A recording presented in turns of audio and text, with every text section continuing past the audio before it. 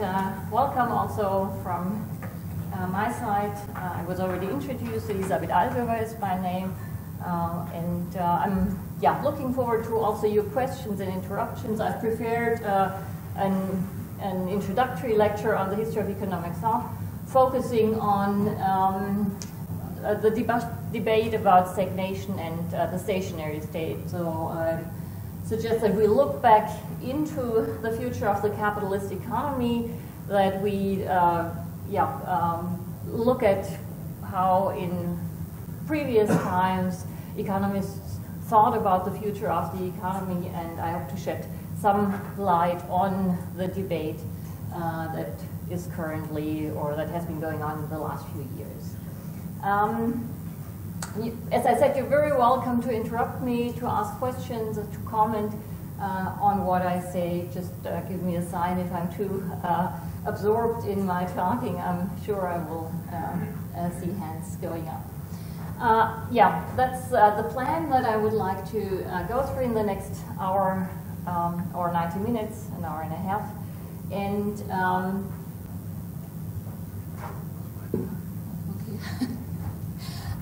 after um, the uh, introduction, setting in context the, the issues that I would like to deal with, uh, I would like to uh, talk about classical political economy, so go back into uh, the early times of economics as a separate disciplines and uh, look at the growth theory uh, of classical economics. Then I would like to look with you at the interwar years when the Great Depression was by many contemporaries uh, seen as a crisis of capitalism. And uh, we will look at, of course, Keynes and uh, some other authors in that time period. And then I will end with a, a conclusion.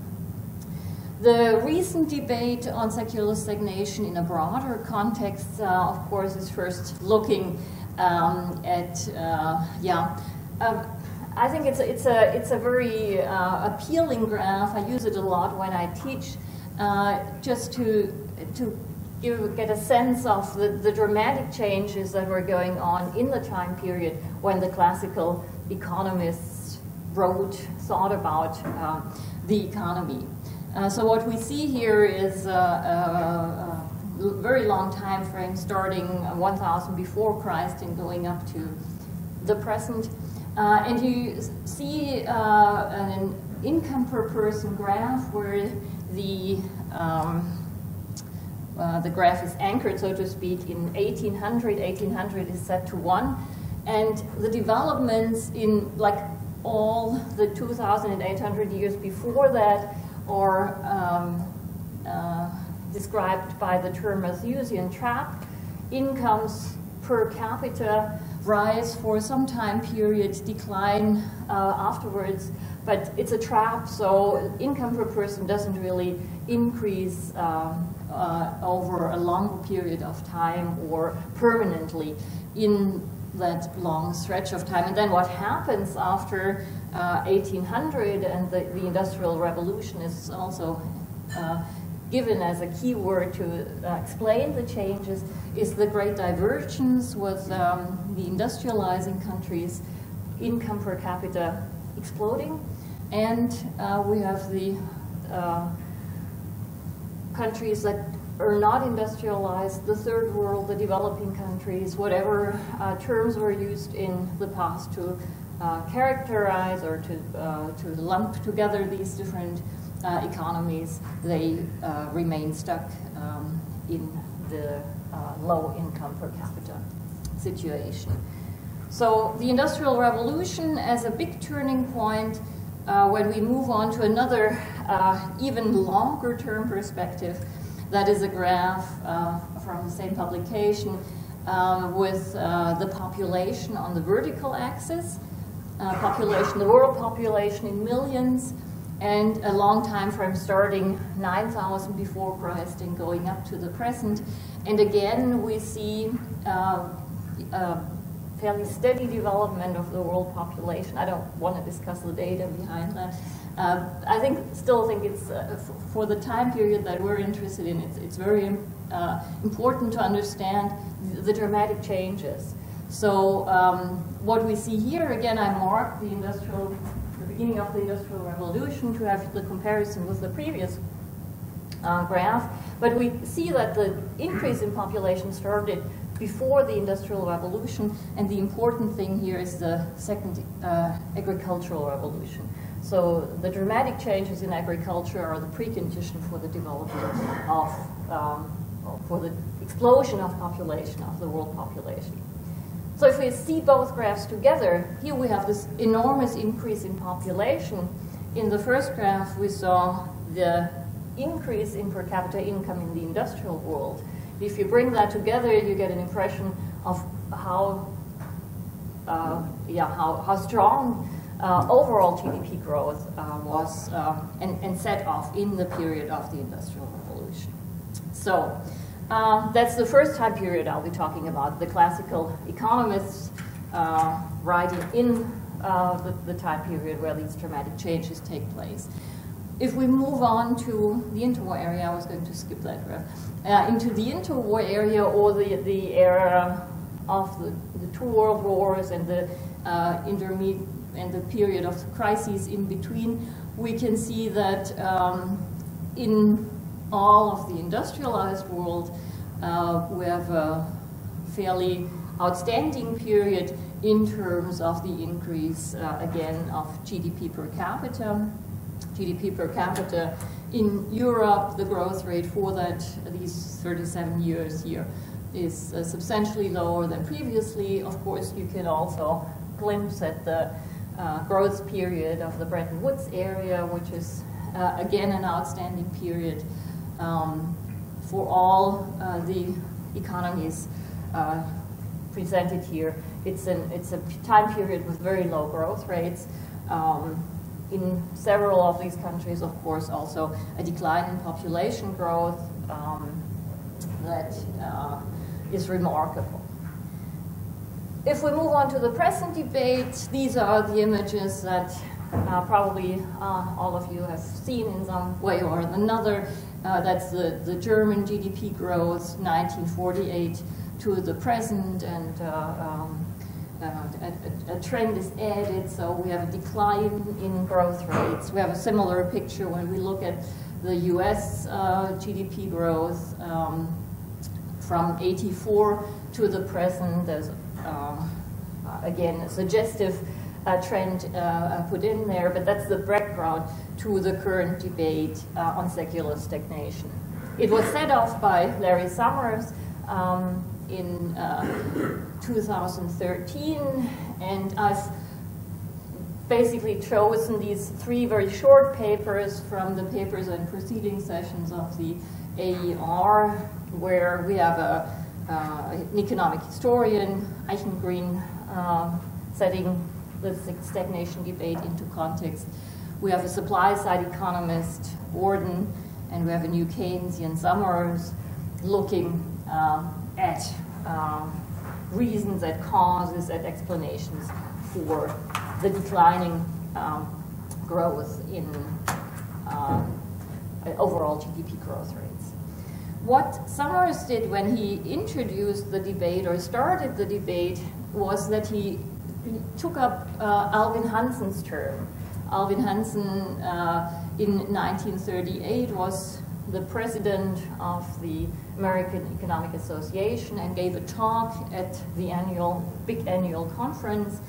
And uh, he defined secular stagnation as um, sick recoveries which die in their infancy and depressions which feed on themselves and leave a hard and seemingly immovable core of unemployment.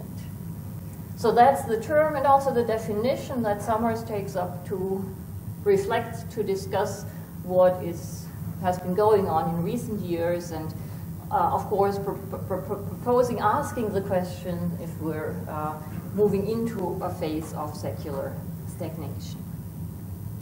So when I start talking now about uh, secular stagnation, um, I, I, would like to um, just use uh, uh, some textbook macro concepts uh, to uh, frame the debate. So if we uh, think in terms of macroeconomics in in textbooks, we usually have a distinction of a growth trend on the one hand, and then the business cycle is a development that is around the trend. So that's usually how macro textbooks works. They have uh, uh, the Solow model and uh, maybe new growth theory uh, to discuss the trend, and they have some neoclassical synthesis model to talk about uh, the business cycle. And the idea is that we have potential output with a certain path, uh, an equilibrium path, an equilibrium growth path, and we have deviations from that path um, that uh, need to be explained. Um, I would just uh, remind you that Schumpeter in 1912 said that that's bullshit.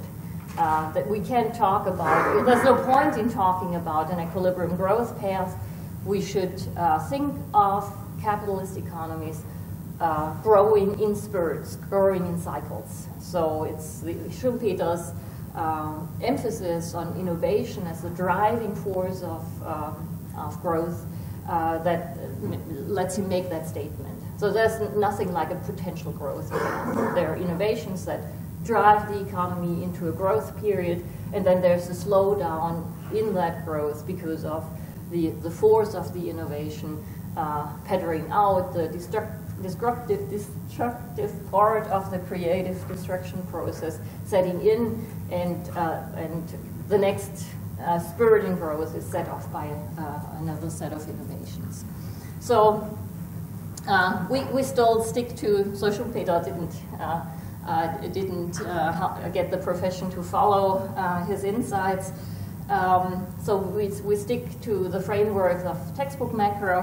When we look at Gordon's arguments uh, discussing secular stagnation, we can see that his argument is basically a question whether, uh, now my trend has already flattened out a bit, but what Gordon is asking is maybe we have something like that going on. So um, the, the supply side, the potential growth path uh, is uh, flattening out. And uh, when we think of uh, what Summers is discussing, we can say, okay, uh, he's uh, saying there's something like that going on. We're not really, the slump is, or the economy is stuck in a slump. we're not getting back to potential growth or maybe even something like that so that uh, uh, the economy is not growing at all anymore. So that's the drawn out recession that uh, Summers discusses in his contribution. So we have, uh, if we look at the arguments that were brought forward in that debate, we have Gordon emphasizing the decline in total factor productivity since 1972, and Gordon looking for reasons why that happened.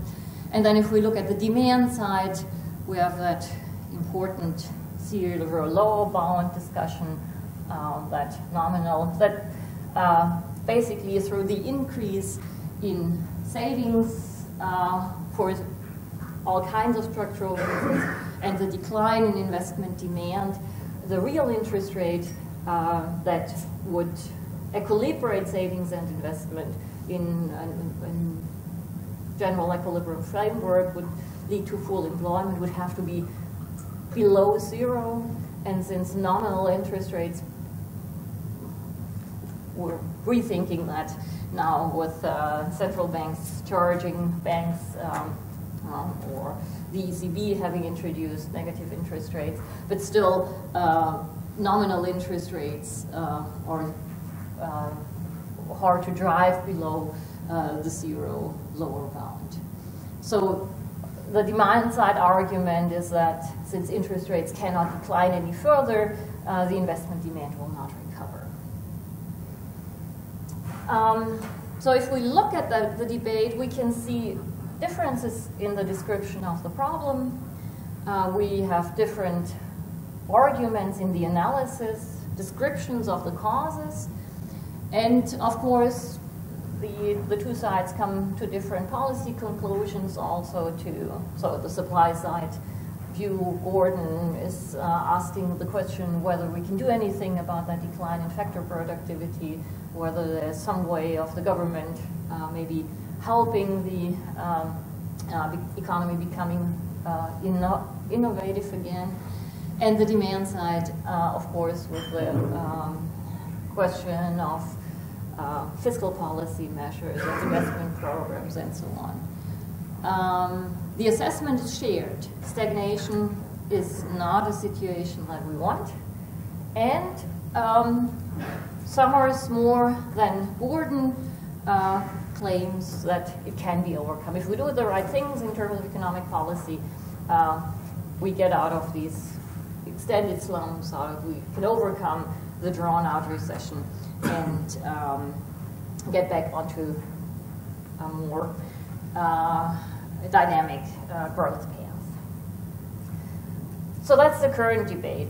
I would like you to, to follow me now into the history of economic thought because I think it helps us to um, uh, come to a different assessment of the current debate if we look at precursors uh, in the history of economic thought. And as I already uh, announced, I will go back into the early phases of the Industrial Revolution, uh, into the early, uh, or into the beginnings of economics as a discipline when I turn to Smith, Malthus, and uh, Ricardo. Um, I, I'm, I, don't, I don't know how much history of economics thought you have been uh, a chance to study or have, have, had an interest to study. Uh, I will, uh, that's why I, I, put the names and the dates here. So Adam Smith, 1776, a good uh, year to remember. It's also the year of the American Declaration of Independence. So you get, and we saw the Industrial Revolution uh, set in that time frame, the beginning of the Industrial Revolution. We have David Ricardo and Thomas Robert Malthus, who are contemporaries, um, uh, half, almost half a century, writing almost half a century after Adam Smith, and uh, continuing to develop his uh, insights and his um, uh, theoretical uh, approach. Ricardo and Malthus um, Malthus's writing, I think, have to, um, or we have to keep in mind when we when we read them, that uh, the, the, historical background or all the turbulences that the British economy went through in the course of um, the Napoleonic Wars. So where Adam Smith is very optimistic uh, about um, the potentials of growth in the, the uh, British economy, uh, if uh, mercantilist policies are overcome, that's Adam Smith's uh, uh, big aim to criticize the mercantilist interventionist policies. Ricardo and Malthus write on a background of um, economic problems in the financial or brought about by the financial sphere with uh, in the wake of the war and the interruptions of trade which were also significant for the open economy uh, of uh, England. If we move on to John Stuart Mill, 1848, again, uh, a different perception of what's going on. If you remember the graph we looked at, uh, Mill is definitely uh, in a position to um, already observe the increase in per capita income that has been going on and to, and to, to understand or to, to, to uh, think about uh, the effects of these dramatic changes. So what I'll do is, is try to uh, paint a, a, picture of classical growth theory that somehow brings together insights from uh, uh, the, the, different authors. Uh, so it's, it's not um, a very precise history of economic thought approach that I'm taking. I'm muddling it all uh, together a little bit. Uh, so if you're um, if you're interested and start reading Adam Smith, you will see that some of the arguments that I present here um, are actually arguments from Malthus or from Ricardo. I'll try to separate it out a little bit, but I'll try to, to give you an, an, an understanding of what classical economists thought about growth. And I think they really shared uh, the insight that growth is a phase of transition. This, we'll also look at some quotes later. Uh, there's, there, there isn't unlimited growth. Trees don't grow into uh, uh, unlimitedly. Even the, the, the biggest, the most beautiful, uh, uh, most prosperous tree will eventually stop growing. Uh, so the phase of growth uh, converges to a stationary state. The background to this convergence is a decline in the rate of profit. Um, the, the idea that the profit rate declines in the growth process, that is uh, a, a, conviction that in the 19th century almost all economists shared. Uh, you're probably also aware of Marxist arguments of uh, the declining rate of profit. Um, the authors had different arguments, and also Smith and Ricardo here have different arguments uh, where Ricardo is not satisfied with Smith's um, idea or Smith's suggestion, Smith's explanation of a declining profit rate because it's not uh, theoretically consistent what he claims, or it, the model that is, so to speak, or that can be crystallized from Smith's writings is not, uh, cannot be solved. So Smith argues that competition for limited investment uh, opportunities in the growth process will lead to the decline in uh, the profit rate as capital is accumulated. Investors uh, basically chase the same investment opportunities and by competing with each other, so that drive, drive down the profit rate. Ricardo's argument is uh, a first application It's not his own, or, or there are several authors who uh, suggest um, that uh, uh, analysis, Ricardo applies marginalist analysis uh, to explain the decline in the profit rate. We'll get to that briefly. the other thing is we, have seen the dramatic population growth that actually took place that was also perceived by contemporaries and um, the argument is that the population growth uh, dilutes uh, the, the accumulation of wealth in terms of per capita incomes, and uh, uh, eventually in the stationary state, um, the population again is constant. Um, I would like to briefly remind you that Adam Smith is not an economist. Adam Smith is a philosopher uh, whose uh, ambition really is to, to write a, uh, or to, yeah, to, to, de to develop a system of analysis for social phenomena. So the Enlightenment is a period where uh, scientists try to understand the natural world, world in terms of scientific methods. And Adam Smith takes that same ambition, ambition to the social world. Not Adam Smith alone, many of his contemporaries, but in Adam Smith we have this ambition of, of uh, or we, have, we can uh, see a system uh, where he, one building block is his theory of moral sentiments, uh, theory of ethics, of the development of uh, moral sentiments in society. We have his economics writings, um, and we have the lectures on jurisprudence. Basically, the third building block of his uh, system uh, was not developed into a book, so all we have are basically lecture notes from his students uh, in, in his teaching. And uh, of course, historians of thought, uh, yeah, mine those lectures. And there's, there's a debate that maybe uh, Smith realized that um, he, he couldn't close his system, that uh, the explanation of the development of law is not really fitting into uh, the other building blocks. So anyway, Adam Smith is a moral philosopher uh, who, who uh, develops a social theory, tries to understand the working of a society. We'll look at his economics. Uh, that's that's going to be enough for uh, today. Uh, what I have here are the introductory passages of his book, An Inquiry into the Nature and Causes of the Wealth of Nations. And what I want to do um, is briefly look at his definition of the nature of wealth. And I've highlighted it here in, in uh, red.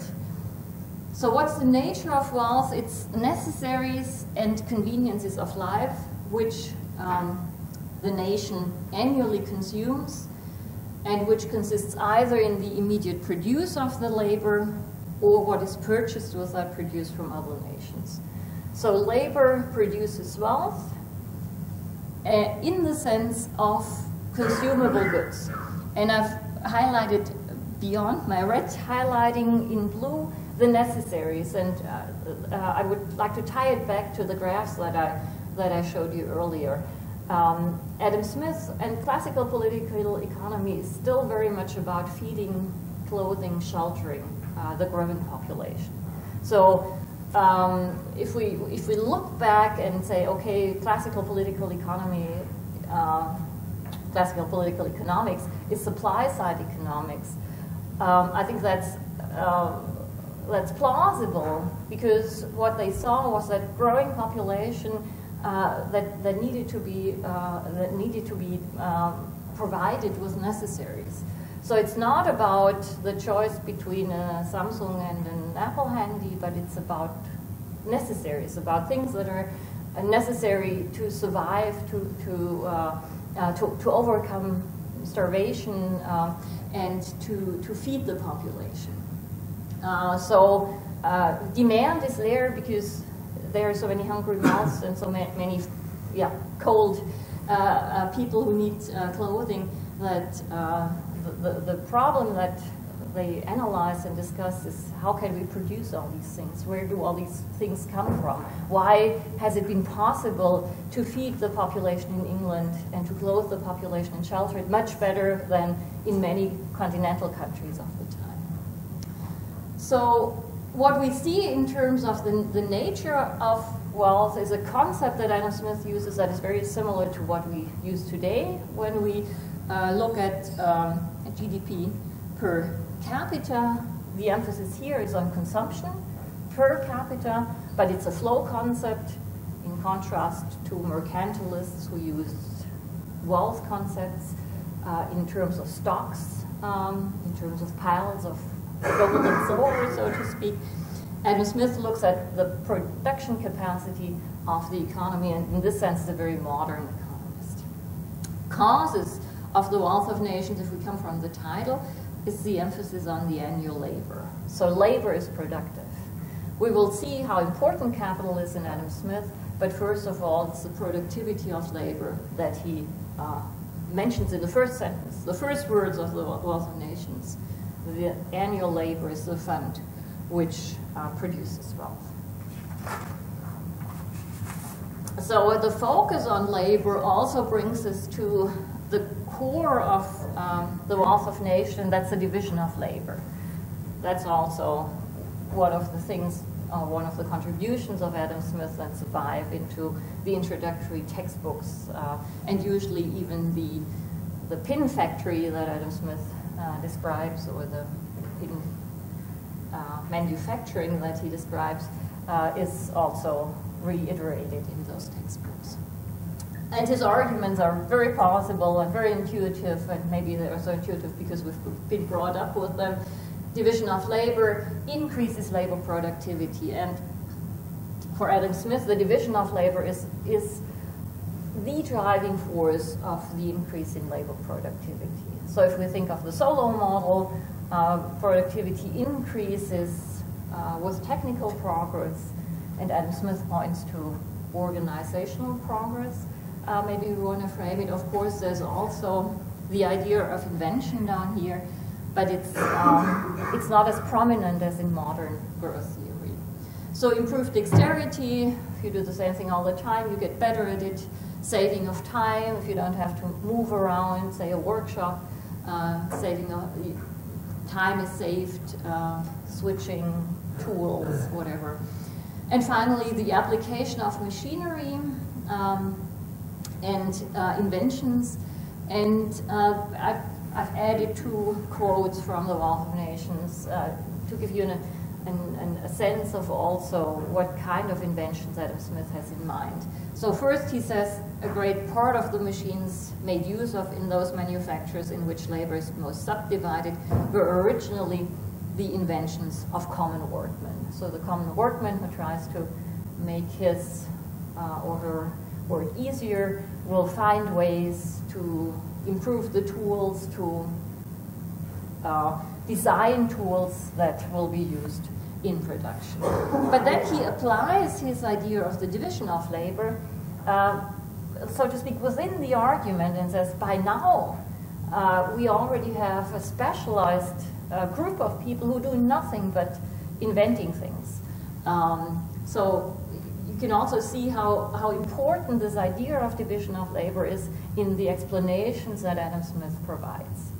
So there are machines, there are improvements that are introduced by people who are makers of machines or um, philosophers or men of speculation who do nothing but look for such improvements. Um, the division of labor is introduced in Adam Smith with the pin factory, but of course it's central to uh, his understanding of the commercial society, or the division of labor between professions or between uh, employments, uh, between firms and or between producers, then is also the, the starting point of yeah, the commercial society, the, the society that is uh, characterized by exchange relations. So um, the division of labor is so important because it increases the purchasing power of the worker's wage. So the, the, the, labor theory of value that is behind Adam Smith's argument is a, is a, a labor theory of, of uh, basically labor commanded. So what can I buy in terms of labor with my own labor? That's the question. So if we need ever less labor to produce the necessaries and conveniences of life, the, the worker who works a full workday will be able to purchase more of the goods. So if we think of modern libertarian understandings of how growth functions and how it trickles down uh, the, uh, for, uh, the, the, the, income uh, um, ladder, how the poor will also um, participate in the wealth that's generated in the financial markets. Uh, the idea in Adam Smith is completely different. By the individual worker becoming more productive, he will be able to exchange his own labor for more labor uh, in the market or for more goods and services which he's actually after. Um, both ideas uh, are um, captured on the 20 pound note. So in here you have the, the pin factory, Oops. and, uh, and then basically the great increase in the quantity of work that results is also an increase in the purchasing power, so to speak, of the uh, individual. Um, the division of labor, just to round off also uh, with some of the uh, policy conclusions of Adam Smith or one of the central policy conclusions uh, of classical political economy. Uh, the division of labor is limited by the extent of the market. That's why Adam Smith, or that's how Adam Smith uh, supports his um, claim that um, trade barriers should be reduced. Um,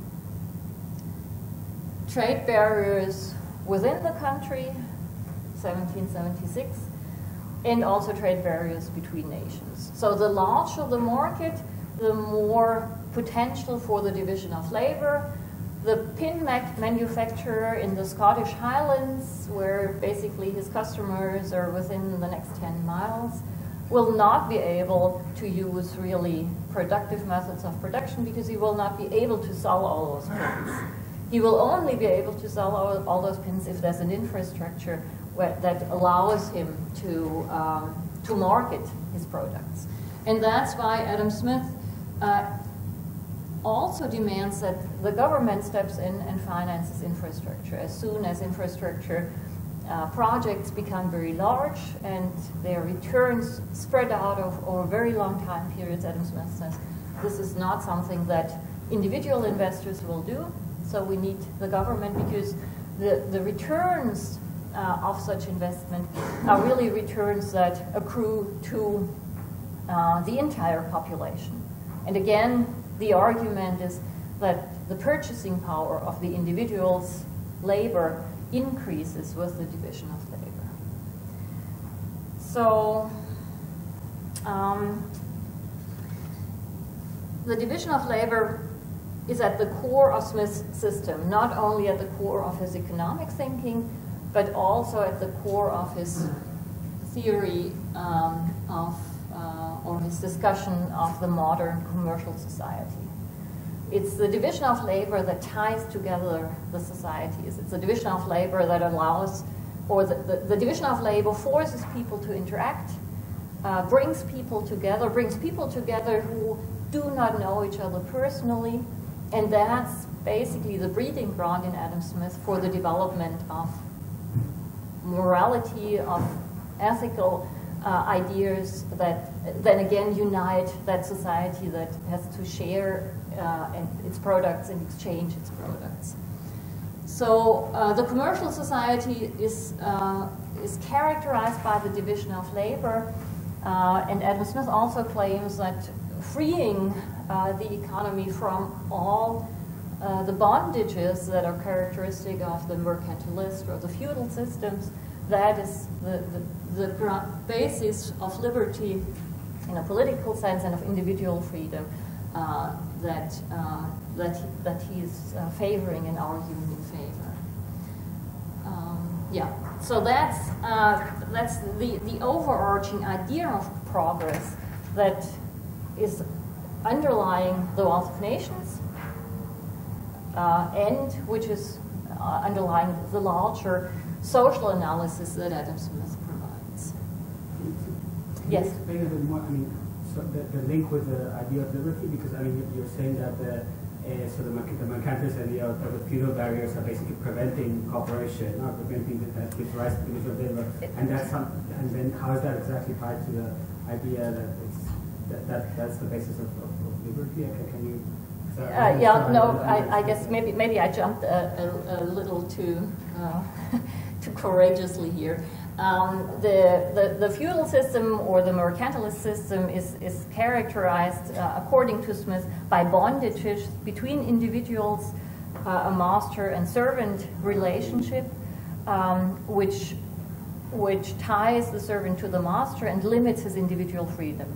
Whereas the commercial society is based on market exchange. So, hmm? it's a voluntary cooperation versus an. Yes.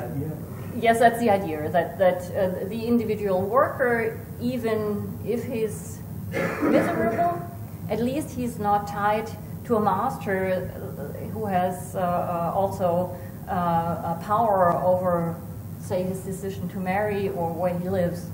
Uh, so, and and the opportunity then of the division of labor uh, that the commercial society offers is the increase in purchasing power that might also improve the living standard of the poor. So he, he's cut loose of the ties. Uh, he's, he becomes part of uh, a, a, society that is, uh, that is shaped by moral sentiments. He has to integrate into that society, otherwise he will, he will not be able to exchange on the market.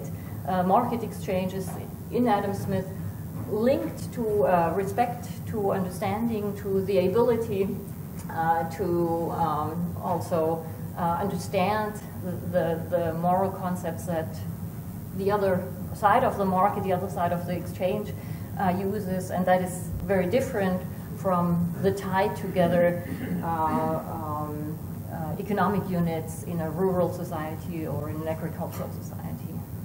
So, uh, thanks for the question. Other comments so far? Yes. Just, I, I haven't read Smith, but I'm just curious whether he deals with the progression from the feudal society and the and possibly the conditions required for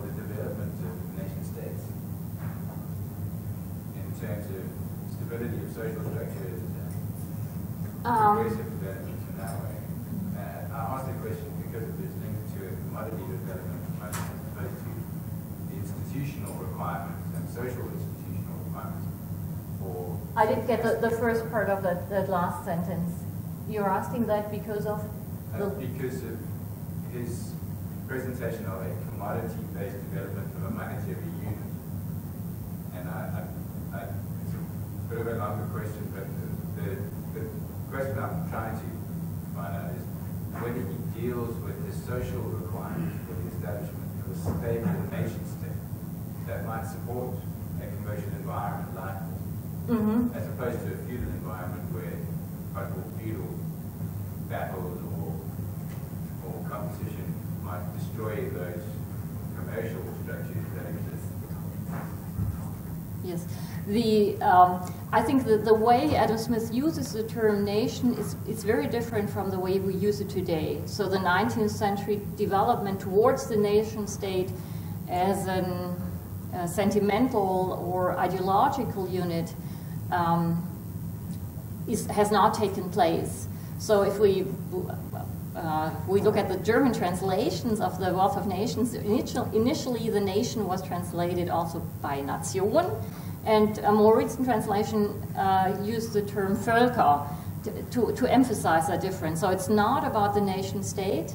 Uh, what Adam Smith really has is the, is the commercial society uh, as, an, as a society of exchange. He doesn't question the existence of a monarchy, uh, but um, uh, the, the, commercial society is, is one that is uh, basically characterized by individual rights and by, by a sense of, of liberty on the political uh, sphere. If he has an analysis of the transition, that's, I think that was uh, your question, that I, I don't know. Uh, in the Wealth of Nations, we have maybe in the moral, theory of moral sentiments, which I haven't read completely, uh, but in, uh, in the Wealth of Nations, um, the, the economic changes are at the center of the attention. So if he compares uh, the development of, the, of, of China or of ancient Egypt with uh, modern England, uh, the, the focus is on, um, on the economic development rather than the political development. So I can't answer the question. thank you. Mm. You had a question also. In terms of productivity. Yes. And in terms of what you said about the various people in the past, is there anything we learn, or can we learn anything in terms of the current state of productivity, which is so low, and how can we improve it? Do we need a state intervention? Do we leave it to the market? Any, any ideas that we can learn from that particular exposition? Um, um, I, I no, I, I don't think so.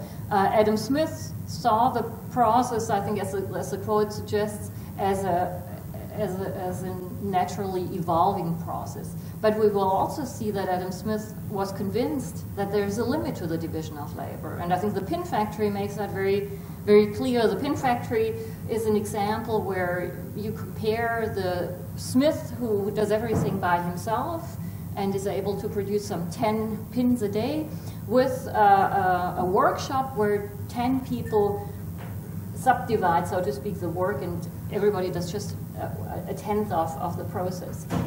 But it's clear that nothing is, uh, is, is gained if you add another two people to that because they will only be able to do one of the steps that has already been uh, been subdivided. So product, the increase in productivity through the division of labor, according to Smith, is limited.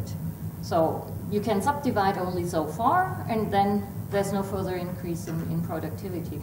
And this is the other thing that all classical economists share, that technical progress or yeah, the invention of machines does not uh, uh, uh manage to overcome uh, the, the, the, the decline in uh, um, the profit rate.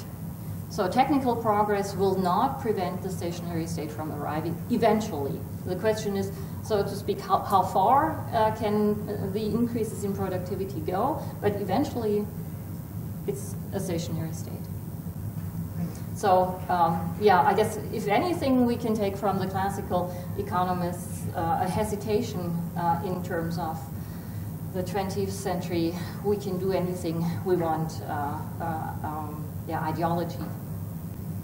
Yes? Yes, uh, in the previous slide you mentioned the, the stupid, this, this is the right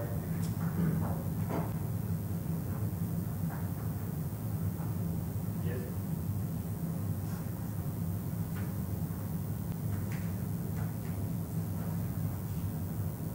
How do you set it up?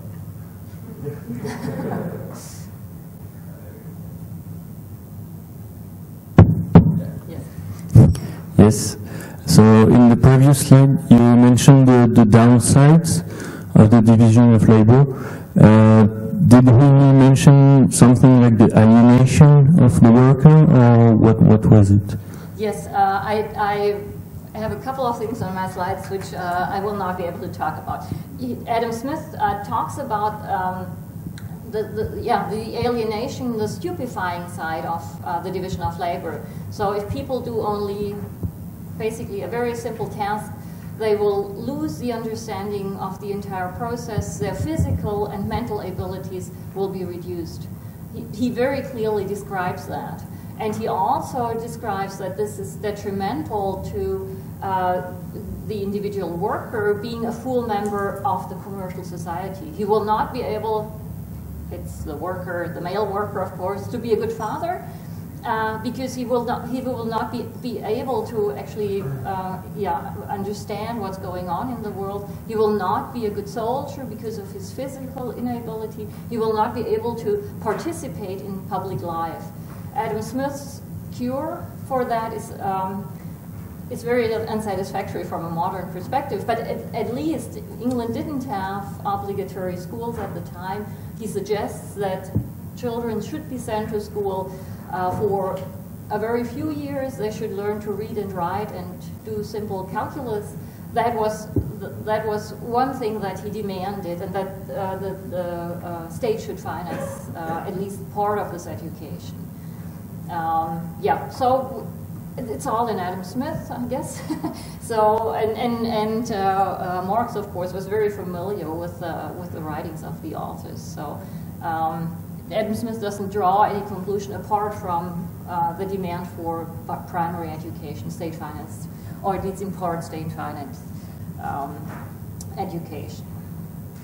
But he saw the detriments uh, of the of uh, stupid work. Can I move on? So I talked about labor being the fund uh, which uh, supplies the nation with the necessaries and conveniences. Uh, but capital, of course, is very important in uh, classical growth theory. And uh, I would like to say a few words about the concept of capital before we move on to the, the, the perspective of growth theory. Um, I've already completely lost my time frame, so I, I will probably jump a few sheets now.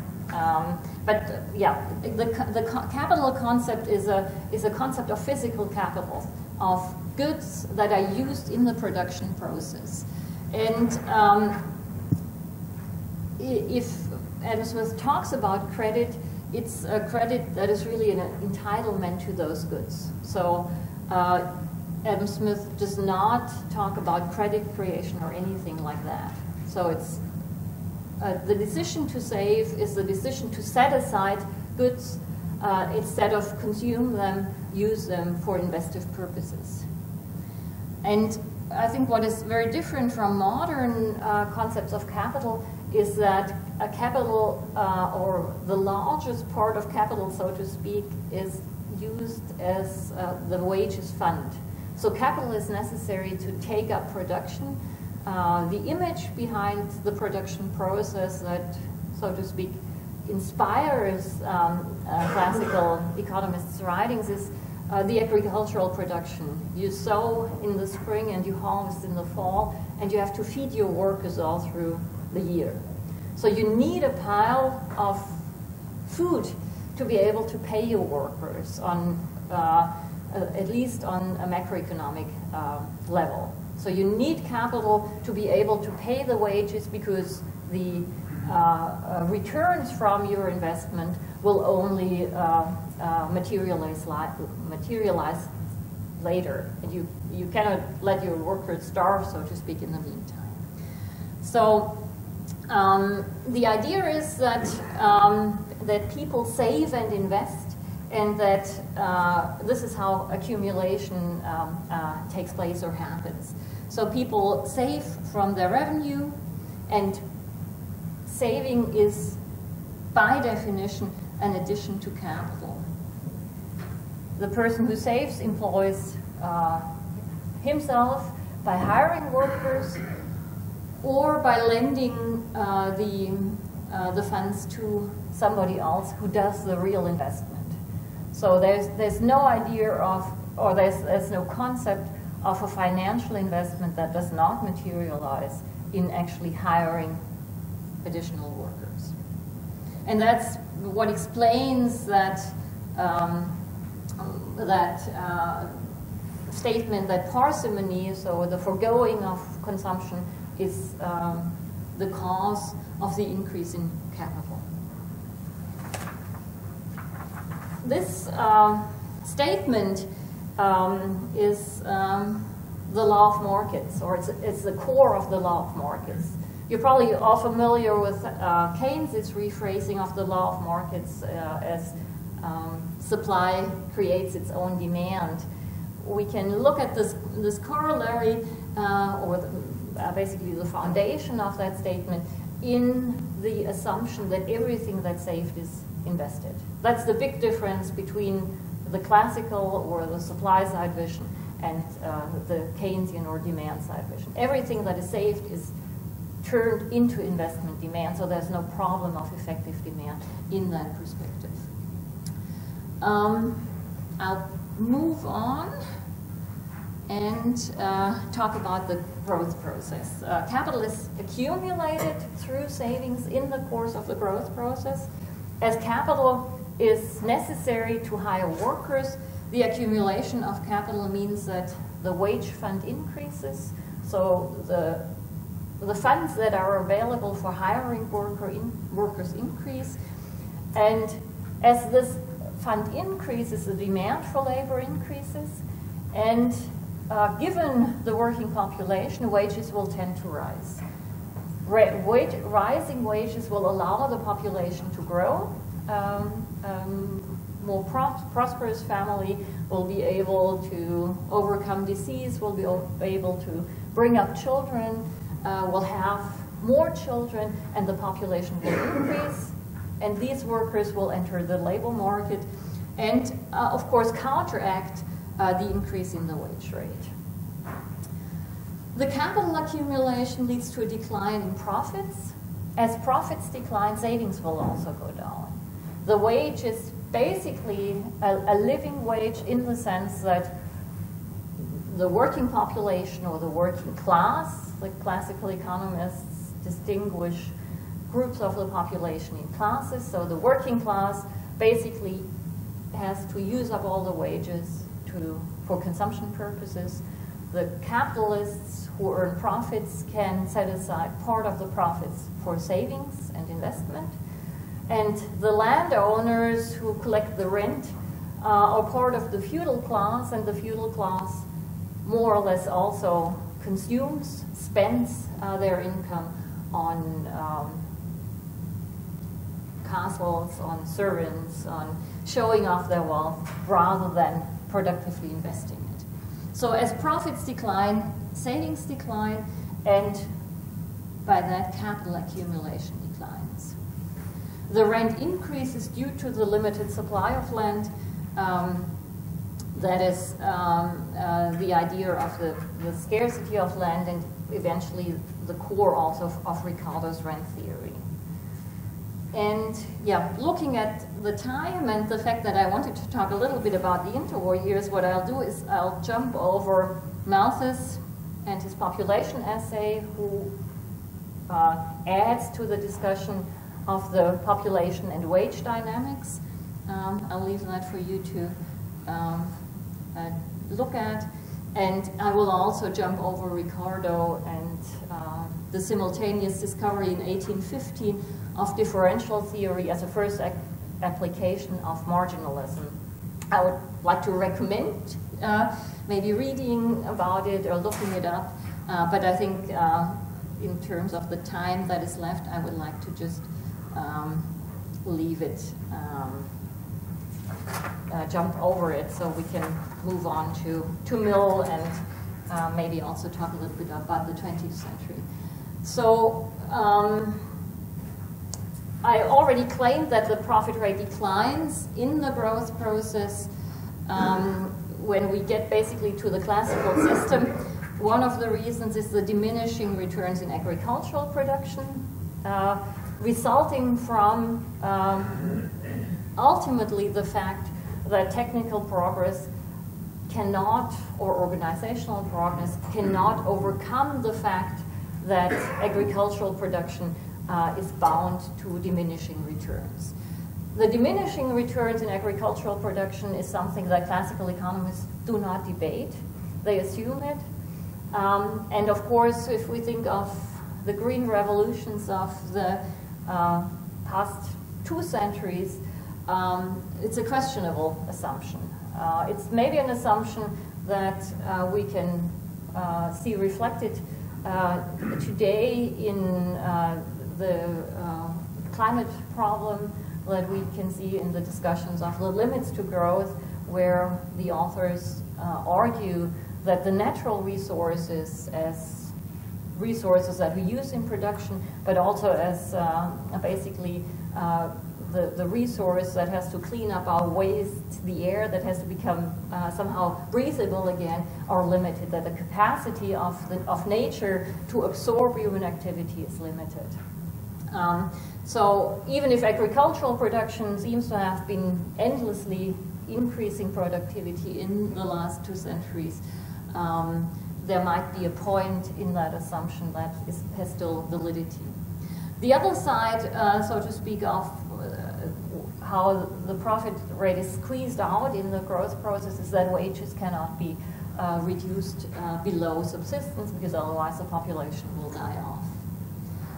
Um, yeah, the, this is, this, the idea that profits decline in the growth, growth process, I've already said, is part of Marx's and part, part of Smith's argument uh, with different uh, explanations, with different theoretical arguments, but it's something that classical economists share. So if we look at the end of the growth process, it's characterized by the profit rate coming close to zero, capital accumulation ceases, uh, the wages fund is constant, therefore um, the population will not uh, grow any further. Uh, rents are high, rents in the actual sense of uh, a, a, a, sign of the scarcity of um, the availability of land, or you can translate it into natural resources. If you will. So that's the, the background to the idea that uh, classical political economists saw growth as a transition phase, as a transition phase where output increases, employment increases, and population increases, and then the whole process ends up in a stationary state with uh, constant output and population. So if we look back at that picture, we are surprised, but because what actually happened was that explosion in income per person. Uh, if we see basically what the people who, who wrote had in the backs of their minds in terms of of course, they didn't have that very nice uh, uh, graph that um, Gregory Clark produced, but um, uh, the perception was, uh, as, as, I uh, also said earlier, one of population struggling for survival, uh, increasing population, raising the question of whether the society will, will be able to feed them. So on that background, maybe it's fairly plausible uh, that the authors um, perceived uh, growth as a transitory phase.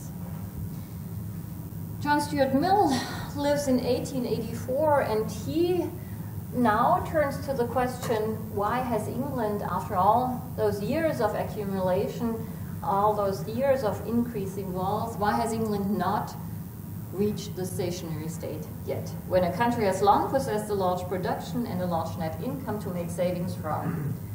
And when therefore the means have long existed of making a great annual addition to capital, it is one of the characteristics of such a country that the rate of profit is within, as it were, a hand's breadth of the minimum.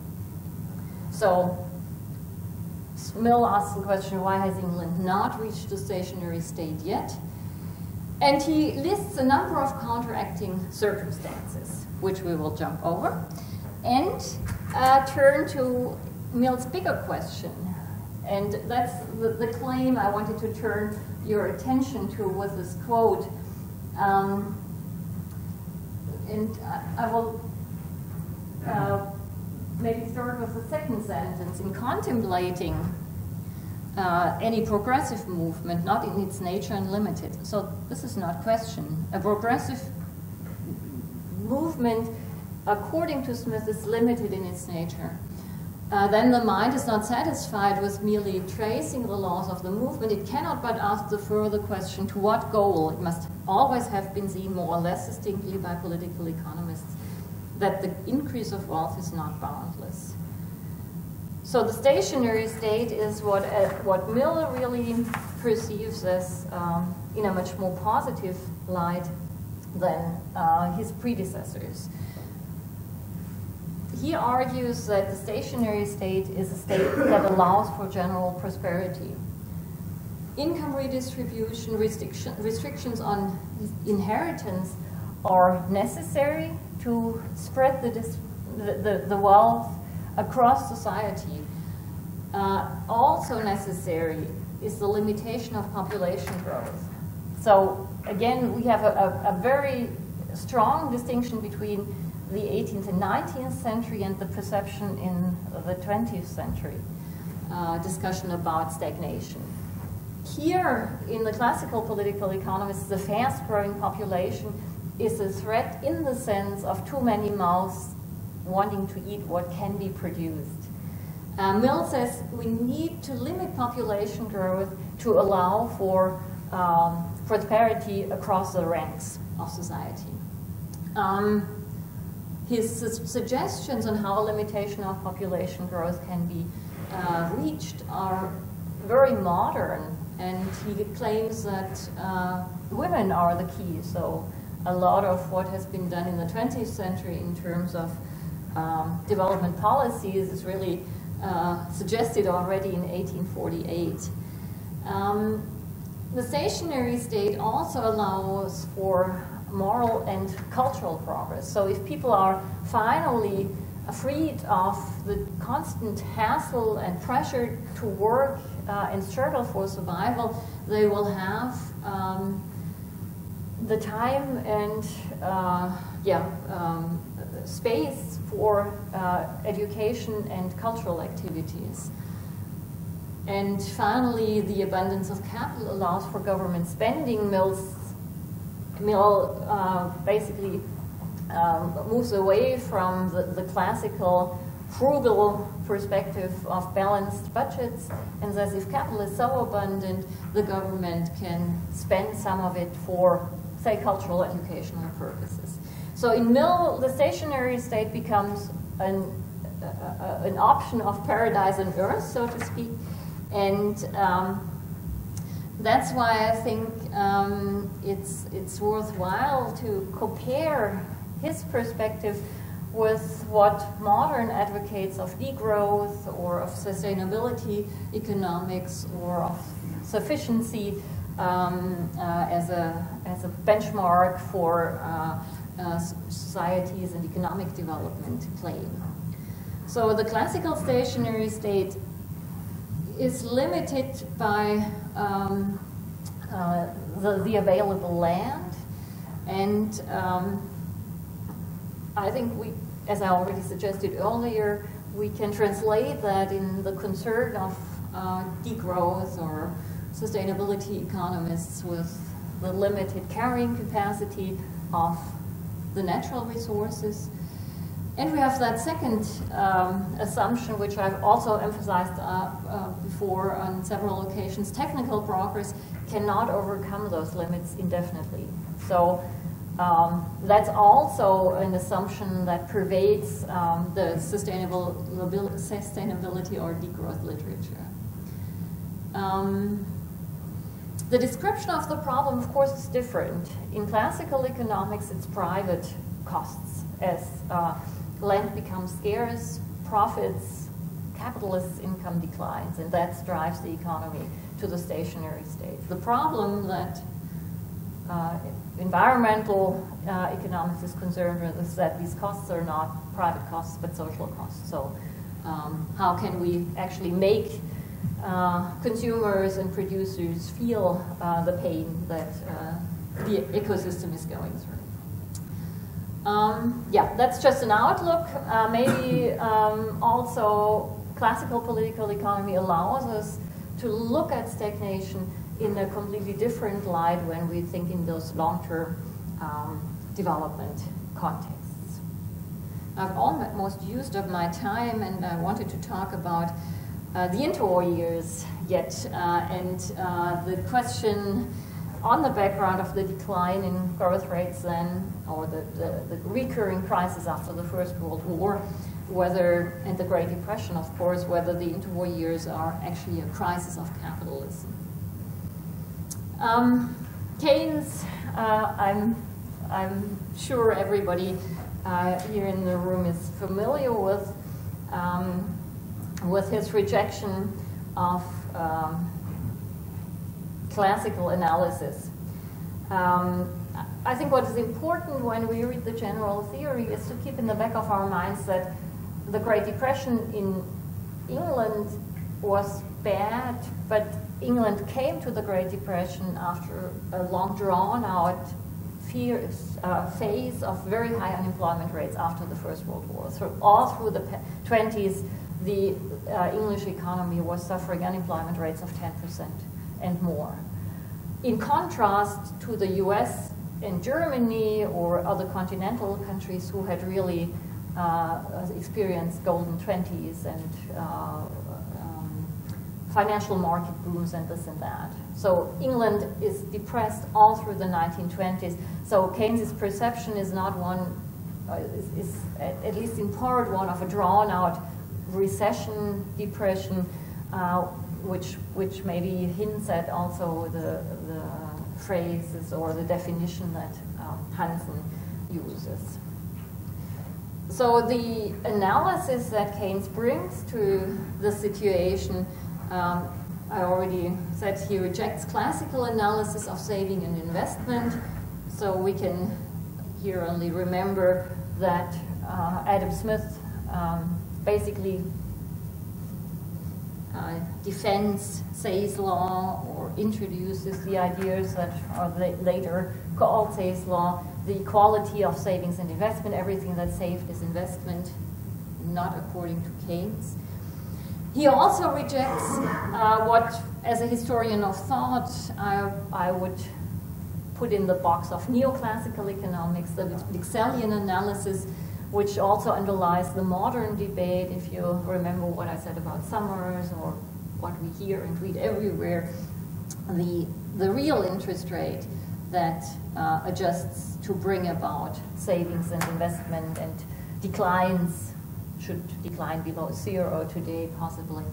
Um, Keynes also rejects this idea. He emphasizes instead um, the um, importance of income for the savings decisions. The saving decision is not so much driven by interest rates, it's much more driven by income. So if incomes decline, savings decline, irrespective of the interest rate. And Keynes emphasizes the future-looking quality of investment demand. So the idea that expected returns are really central, uh, and through that vein, the importance of um, yeah, animal spirits as an urge to do something rather than uh, watch the economy uh, unfold. So we, we get a we get definitely moving away from uh, classical perceptions of the interaction between savings and investment, which is uh, behind um, um, Keynes's analysis. So the investment decision uh, is uh, based on this idea of marginal efficiency of capital, forward-looking, uh, internal rate of return. Uh, the marginal efficiency of capital can fluctuate, can decline with um, pessimism uh, in the economy, with changes in the political sphere that uproot expectations and so on. Um, and the idea that even if all this calculation works out well in terms of the expected income uh, and the returns on investment compared to the current monetary interest rate um, um, look favorable, that might not be enough for the uh, investor to actually do something. And that's where I, I like to uh, draw attention to that code of animal spirits because I think it's often the term is used in the press so very differently from the context that Keynes uses it in. So if we calculate, so if we basically have an outcome of weighted average quantitative benefits multiplied by quantitative probabilities and all that is still in favor of an investment, there's more necessary to that and that's what an um, what Keynes called animal spirits. Our decisions to do something positive, the full consequences of which will be drawn out over many days to come, can only be taken as a result of animal spirits. And animal spirits are a spontaneous urge to action rather than inaction, rather than watching the world unfolding, the investor wants to do something. He, does, he doesn't want to wait until the situation gets better. He wants to use opportunities. That has to be there, this uh, optimism about the future, uh, even if calculated benefits exceed uh, the costs. Um, yeah, I, I, don't, as I've said, I don't think I need to say too much about Keynes and his analysis. Um, it's very clear that, that what we have, again, if we think about next textbook macro and the Keynesian case in textbook macro, we shift around curves and analyze uh, the interaction of uh, monetary and uh, goods market by shifting around IS and LM curves. This is not Keynes. Uh, Keynes argues that the interdependencies between monetary and real sides of the economy are not simple, not as simple as IS suggests, even if Keynes at one point said to Hicks or wrote to Hicks that this is a captures key elements of the general theory. These relationships that we uh, pretend to control with IS and LM curves are not stable. So I think what we've experienced, that expansionary monetary uh, policy does not, is ineffective that does not surprise any Keynesian at all. And again, that's the background to the argument that we need the government to either influence the multiplier or to influence effective demand directly uh, if there is anything that uh, can and should be done. Um, so I think the conclusion in Keynes is that mature economies the term, of course, mature economies is not Keynesian, but is not used by Keynes, but is really developed in the debate after Hansen's uh, uh, uh, input that we'll turn to now. Uh, mature economies tend to underemployment and depression. Um, it's the low marginal, marginal propensity to consume, the high propensity to save, which is a problem, and uh, the fact that we've already read about in Mill, uh, that uh, the large existing capital stock might also um, yeah, burden the economy uh, and lead to insufficient inducement to invest uh, is a key reason for the whatever stagnationist side of Keynes's analysis. Um, my footnote here on Keynes and state socialism uh, is also is already jumping ahead a little bit on the other two authors. I would like to look at Hansen and Schumpeter. So Keynes really wants to save the capitalist system by a more active government. He is convinced that state socialism is not the solution. Uh, the system of individualism safeguards personal liberty. The, the, the, quotation marks are terms from the final chapter of the general theory, the social philosophy towards which the general theory leads, which I think is really worthwhile reading also. Uh, the variety of life, uh, according to Keynes, is the most powerful instrument to better the future. Maybe that's uh, taking up um, the question um, uh, that was asked earlier, what can we learn from, uh, from these um, dead economists? Uh, according to Keynes, we need, yeah, we need plurality, we need a variety of life for uh, new things to emerge uh, to um, better uh, life in the future. I will not make my footnote on the economic possibilities of our grandchildren. Uh, or maybe I will make the, the, this footnote. In 1930, in the middle of the Great Depression and the drawn out depression in Great Britain, uh, Keynes has a very uh, optimistic uh, outlook on the year uh, 2030 in terms that really are reminiscent of Mill, that just the the power of the capitalist system, the capital accumulation that has taken place, um, would allow societies, uh, if they uh, achieve uh, um, um, distribution of this wealth and income uh, that reaches all the ranks, uh, a prosperity that has been unseen before. So he reminds people that even if income has declined in Great Britain, uh, or the growth of income, no, income has declined in Britain in the, uh, in, uh, the Depression,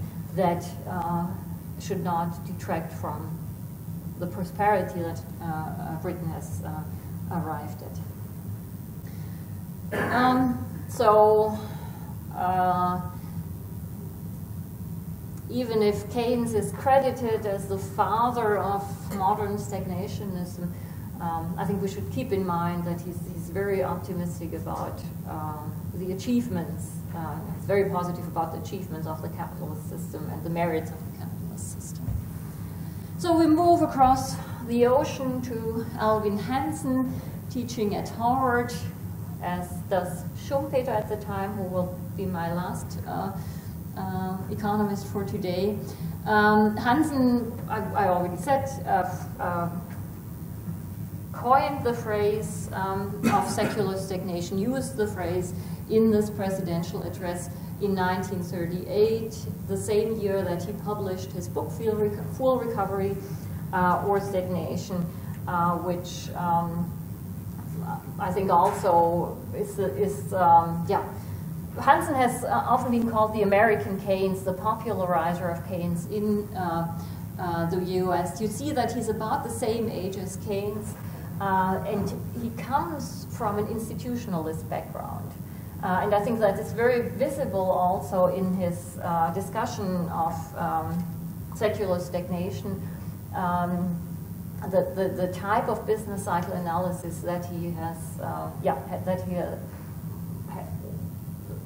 that he has done himself, uh, that he has published, the, the way he has worked uh, reflects the institutionalist background. So he's not a neoclassical economist coming to Keynes like maybe Samuelson, uh, but uh, an institutionalist.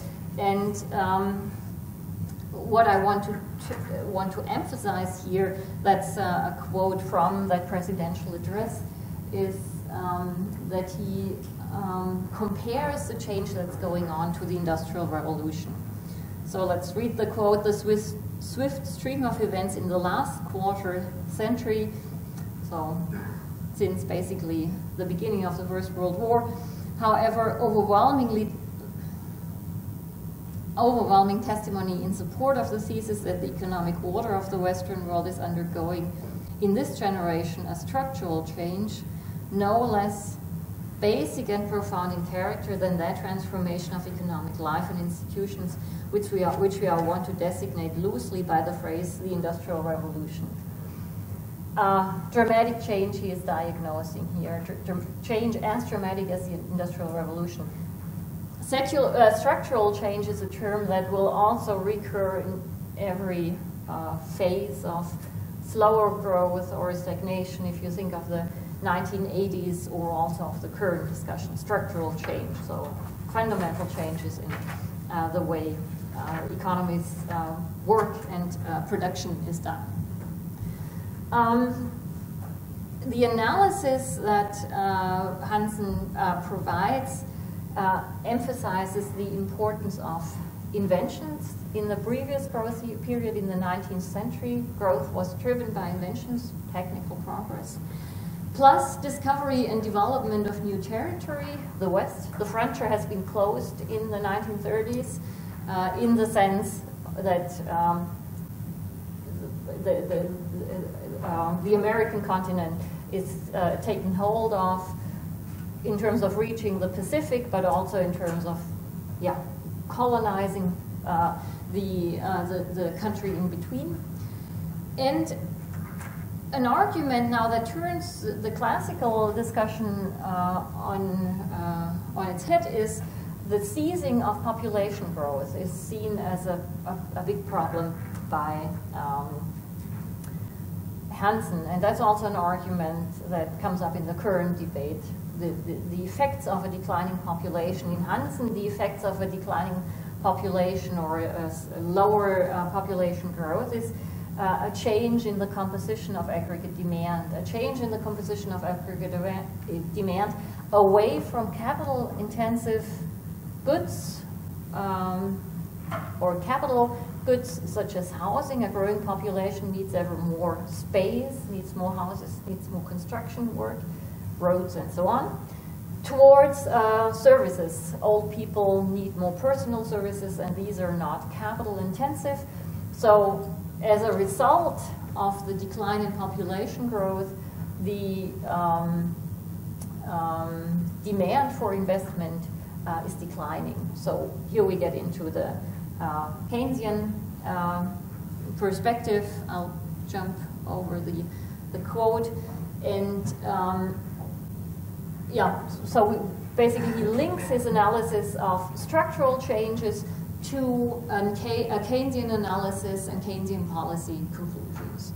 So just as in Keynes, full employment is the policy goal. It's not um, growth per se, but it's full employment. Uh, insufficient investment demand is the reason for unemployment, and monetary policy is uh, not uh, the tool where that can lead to an increase in investment demand. And that's where government policy comes in, relief from taxes to strengthen consumption and public investment. Um, the, yeah, typical Keynesian solution. Hansen raises layers and layers of reservations and questions concerning the compatibility of active government policy with what he calls the system of free enterprise and a democratic society. So while Keynes argues we need the government to do something to preserve the capitalist system, Keynes, uh, Hansen, sorry, the American Keynes, cautions that maybe this uh, uh, type of policy will not be compatible or will undermine the capitalist system uh, as yeah, he perceives. I think this brings us for the last few minutes. Um, I, I'm, I'm I see that we all need a coffee break, but I would still like to briefly talk about Schumpeter and his uh, capitalism, socialism, and democracy. Schumpeter, born in the same year as Keynes, um, lives a little longer than Keynes, and uh, he makes his, uh, his big uh, uh, contribution, or his early contribution in 1912 with his theory of economic development, the idea of the importance of the entrepreneur, uh, what I already mentioned, the idea of um, capitalist economies developing in spurts um, driven by um, creative destruction. Schumpeter is convinced that development is linked to permanent change. Again, rejecting uh, intertemporal equilibrium models, I think, is a, a, a simple uh, theory conclusion that comes from that. This permanent change cannot be captured by models that hold so much constants. The growth process is cyclical in nature, and it's the role of innovation and entrepreneurship that drives uh, the capitalist um, process. Schumpeter very clear that the Great Depression is not a crisis of capitalism. It's the coincidence of several waves of innovation, uh, pettering out, dying down, um, and um, what he really sees as, uh, uh, as challenging capitalism is capitalism success. So he doesn't argue the crisis will undermine capitalism, but capitalist success will undermine it. So that's a very long quote. Uh, the, the, the capitalism, so no, sorry. Uh, capitalism, socialism, and democracy. Uh, the, the, the chapter on uh, capitalism starts out with Can capitalism survive? And he answers no. The first chapter of the book is on Marx, the second chapter is on capitalism, and it starts with that question. Um, Schumpeter doesn't think that capitalism can survive.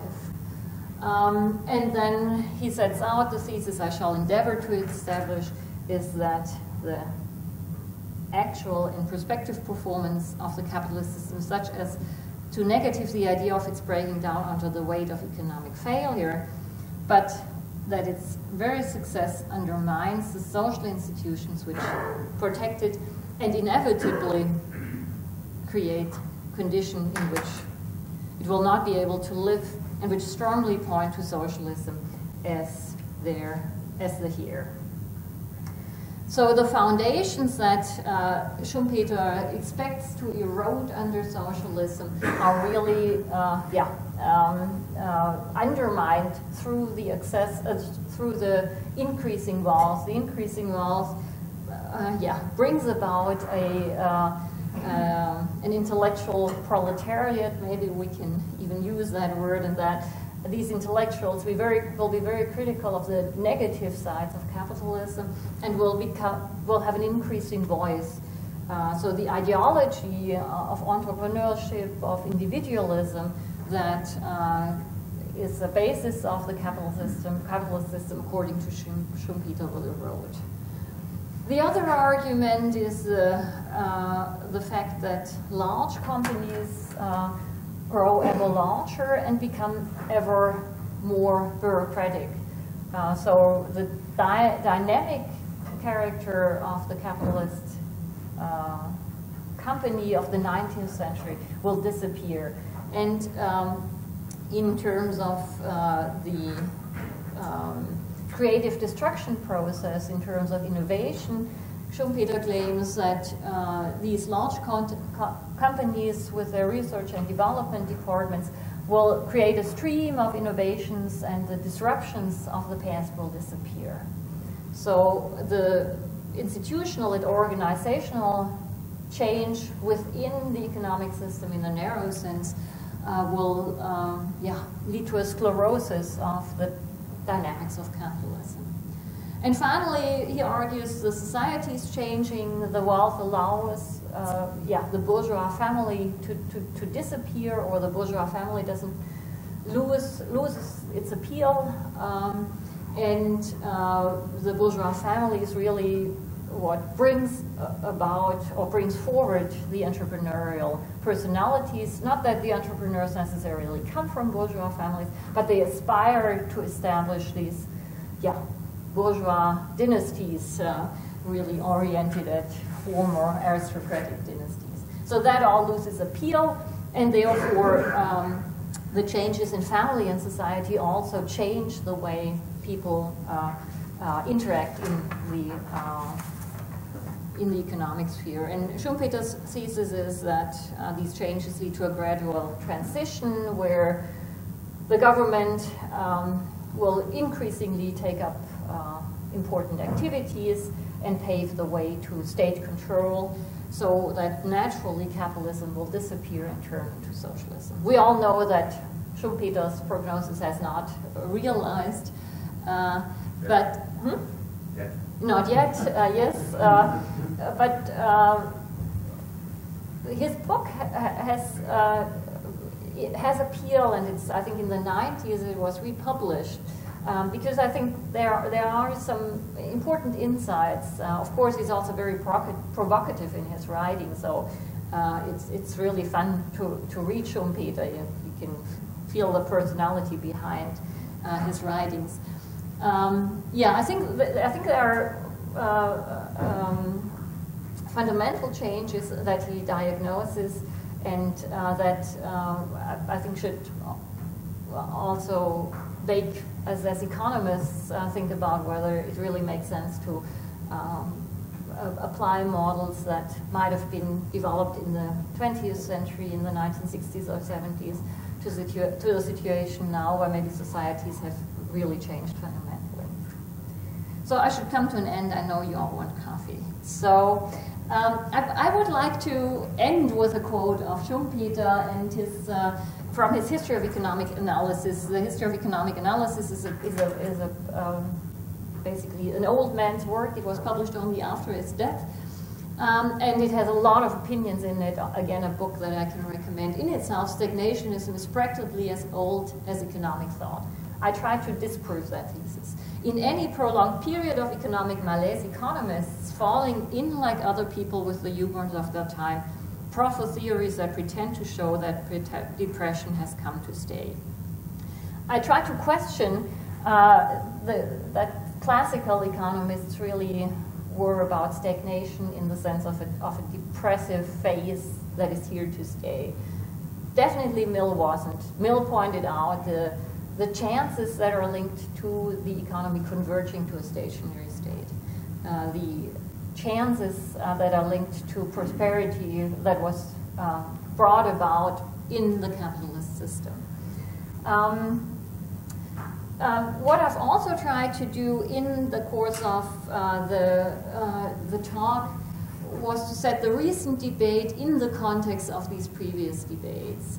Um, there are some aspects that I, I've went, I went through a chronology of authors now, I could have also taken other approaches, and these I will take you, give, you, give to you maybe as something to think about. Uh, um, uh, we could also have looked at theories who explain stagnation endogenously, as the classical growth theory or as Schumpeter does. So stagnation grows is explained within the theory, is part, so to speak, of the dynamics of uh, the capitalist system. Stagnation is caused exogenously and the effects are analyzed by Keynes and Hansen and in the modern debate. So what mod the modern economists do and also uh, what uh, we've seen Keynes and Hansen is that there have been fundamental changes in what's going on um, in the world, say the change in population growth. And that has effects and we look at whether these effects uh, explain uh, the declining growth rates. Um, so these different sets of theories that we've, uh, that we've looked at uh, have a very different approach in the way that they deal with the phenomena they try to explain. Uh, I've also added uh, a literature list if you want to continue reading with some with all the primary texts and some secondary literature that I would recommend if you want to catch up or continue thinking about stagnation or macroeconomic issues in uh, the history of economic thought. Thank you very much for your patience. Uh, enjoy coffee. I'll be around if you have questions or would like to continue discussing, but I can see that some of you are, are really ready for coffee. enjoy the conference. Thank you.